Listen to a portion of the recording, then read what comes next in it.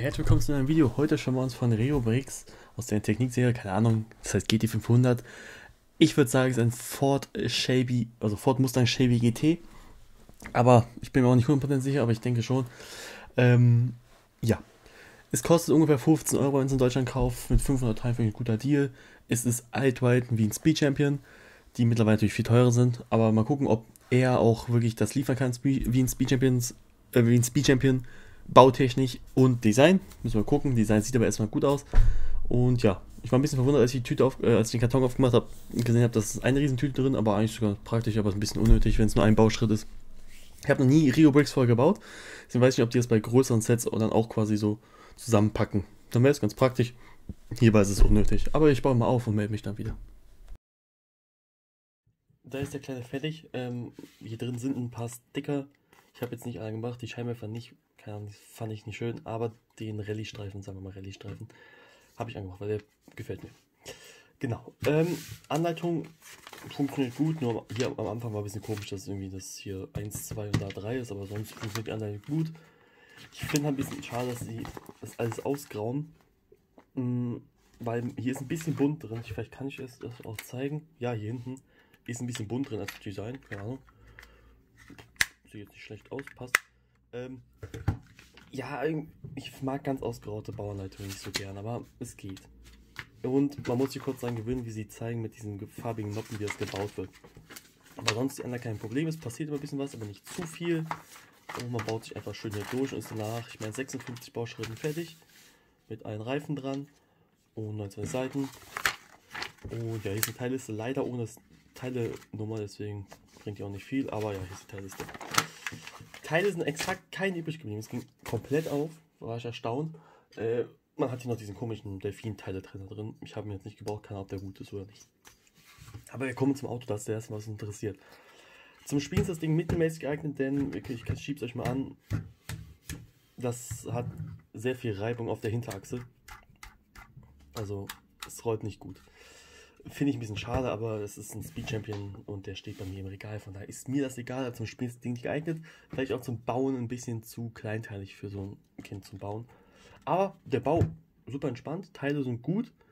Ähm, bautechnisch ist er auf jeden Fall spannender als ihr hier, den ich als letztes gebaut habe. Und er kommt schon nah dran an Speed Champions. Wo ich überrascht war am Anfang, dass man die Bodenplatte, das nicht das Standard Lebteil ist, wahrscheinlich weil es geschützt ist, sondern man baut das. Es sind mehr Teile, äh, deswegen ist aber nicht weniger stabil im Bau. Ist durchgehend stabil. Ähm, ja, man hat Teile. Besonderheit bei diesem Ding ist ja quasi, dass sie eine Tür haben. Jetzt ging die Tür gerade gut auf, aber bei der Tür kann auch leicht passieren, dass man sich, wenn man zu weit hier drüber geht, dass man sich das hier so abrupft oder so. Ja, hat eine Tür. Brauche ich jetzt nicht für meinen Speed Champions, dadurch, für meinen Speed Champion, weil dadurch entsteht halt dieses Ding hier. Das sieht ja nicht ganz so schön aus, wie wenn es einfach zugebaut ist. Aber, trotzdem, ich muss generell sagen, diese, der ist natürlich ein, ist ein Muster, gar keine Frage. Ähm, er sieht richtig cool aus.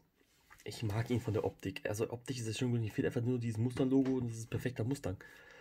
Ja, ich finde, er ist designmäßig klasse gelungen. Bau macht auch Spaß. Dadurch, dass ein bisschen bunte sind drin, nehme ich hier vorne auch mal ein bisschen bunt verbaut, ist es nicht im Suchen nicht ganz so schlimm. Farb, farblich, das ist nicht einfach nur grau da, ist mir ein bisschen weiß und schwarz. Nein. Ähm, ja, er macht wirklich Spaß im Bau. Also ich bin wirklich positiv überrascht. Ich muss bedenken, das Ding kostet 15 Euro. Wir haben 500, ja 480 Teile knapp. Das macht Spaß. Gute Teile. Das Ding macht Spaß. Ich war richtig positiv überrascht, als ich ihn gebaut habe. Der hier so, hm, Farbenbau. Richtig cool. Sticker sind aber, ja, okay. Ähm, nicht viele, aber guckt euch an. Das Auto sieht doch einfach gut aus. Und damit ist das durch. Gute Teile noch dazu. Bau, wo nichts direkt auseinanderfällt. Das Einzige, was im Bau ein bisschen komisch ist, man setzt das Ding hier, da unten ist diese, da kommt dieser Pin hoch quasi, man drückt die Mountplate mit Loch in der Mitte da rein, das mal kurz ein bisschen komisch, mal gucken, dass es passt und dann nicht auseinanderfliegt, aber wenn man vorsichtig drückt und nicht zu feste, passt das. Genauso wie das hier mal kurz die Rücklichter, diesen ein bisschen im Winkel, die anzubringen, kurz gucken, dann sitzt das super.